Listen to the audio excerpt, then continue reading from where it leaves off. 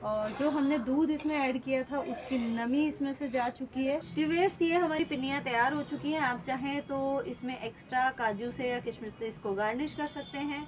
Hello viewers स्वागत है आपका आपके अपने यूट्यूब चैनल ज़िले रेसिपी में। एक बार फिर मैं आपके लिए लेकर के आई हूँ एक ट्रेडिशनल रेसिपी ये एक्चुअली मैंने मेरी नानी से सीखी थी।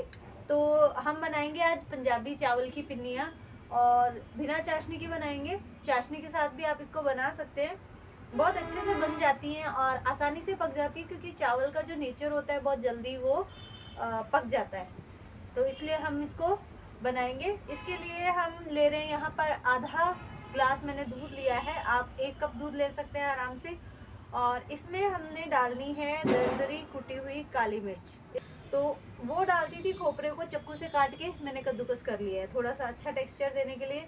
और ये काजू मैं डाल रही हूँ क्योंकि खुशी जो मेरी बेटी है, उसको बहुत पसंद है। किशमिश बहुत अच्छा सा मिठास देती है। इसको हम चक्कू से दो टुकड़ों में काट के डालेंगे।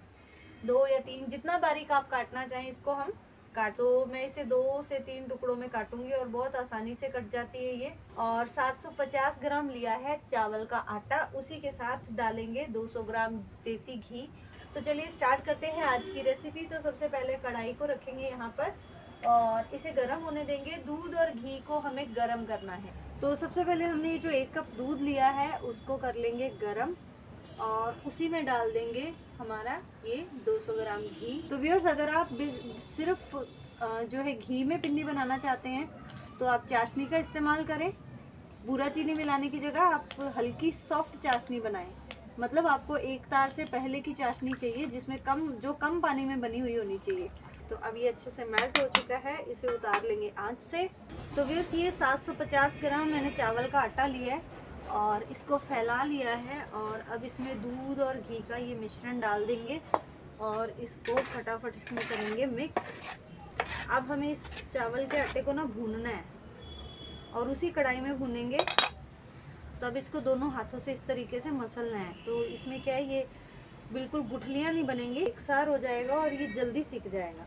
और नॉर्मली इसमें चावल की पिन्नियाँ जब हम बनाते हैं तो रंग चेंज नहीं होता है, सिर्फ़ खुशबू से पता चल जाता है कि चावल का आटा जो है वो भून चुका है। तो फिर अब हमने कर लिया इसको मिक्स अब लेनी है आपको इस तरह की कोई छालनी। जैसे हम मोहन थाल नहीं बनाते हैं तो उस तरीके से हमें इस छालनी में से इस मिश्रण को निकालना है, ताकि कोई भी गुठली ना रहे। तो ये सूसी कढ़ाई को जिसमें हमने दूध और घी का मिश्रण तैयार किया था, चढ़ा देंगे। अब इसमें बिल्कुल हल्की हल्की आँच पर जो हमने आटा तैयार किया है, उसको भून लेंगे। अब आप देख लें कि आपका आटा एक बार में पूरा होता है या नहीं। तो लगातार हिलाते हुए बिल्कुल हल्की हल्की आँच पे इसको भूनना है। और देखिए व्यूर्स बिल्कुल गांठें नहीं पड़ी हैं इसमें और ये एक एक कण जो है वो आटे का बढ़िया तरीके से सिक जाएगा। तो ये अच्छे से भुरभुरा हो चुका है और जो हमने दूध इसमें ऐड किया था, उसकी नमी इसमें से जा चुकी है।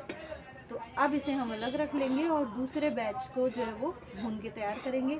और व्यूर्स इसको पहचानने की एक तरीका है कि अगर चावल का आटा भुना या नहीं भुना तो कलर में ज़्यादा फ़र्क नहीं आता तो इसलिए अगर आप पहली बार बना रहे हैं तो आपको ज़्यादा फ़र्क नज़र आएगा नहीं। लेकिन आप कई बार बनाएँगे तो आप ये चीज़ आसानी से आपकी आँखें आइडेंटिफाई कर लेंगी।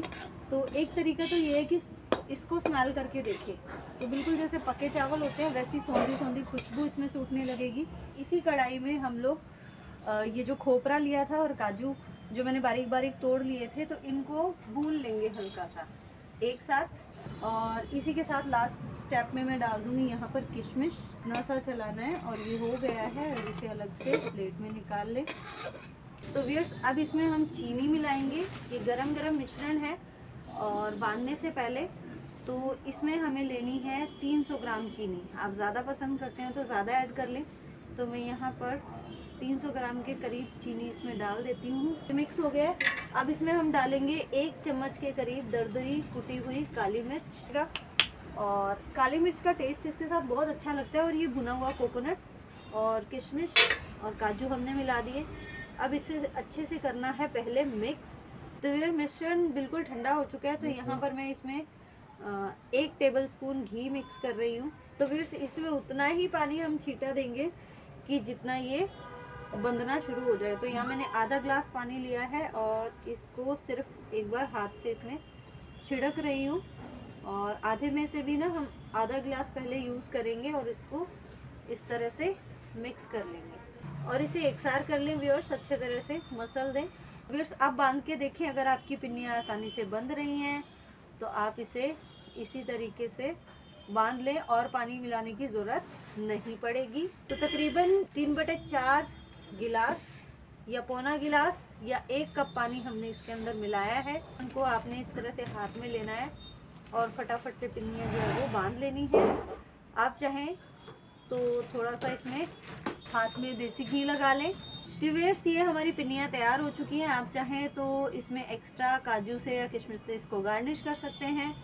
तो वैसे इसकी ज़रूरत नहीं पड़ेगी, क्योंकि इसमें वैसे ही काजू और किशमिश खूब दिख रहे हैं। तो एक चीज़ और व्यूअर्स आपने पानी डाल के जब हम इसे बांधते हैं तो ये ख़राब नहीं होंगी, क्योंकि चावल का जो नेचर होता है, पानी सोखने का तो वो तुरंत सोख लेता है और ये बंद जाती हैं। और धीरे धीरे जैसे जैसे ये पुरानी होती जाएँगी तो अपने आप मॉइस्चर इसमें जो है वो कम होता रहेगा। बस इसको एकदम बंद डिब्बे में ना रखें। तो लीजिए व्यूअर्स मेरी तरफ़ से आपके लिए सर्दी की एक और ट्रीट तैयार है। इन्जॉय करें रेसिपी को। और मुझे विश्वास है, आपको रेसिपी पसंद आई होगी। पसंद आई है तो लाइक करें शेयर करें, मेरे चैनल को सब्सक्राइब करें। Thank you for watching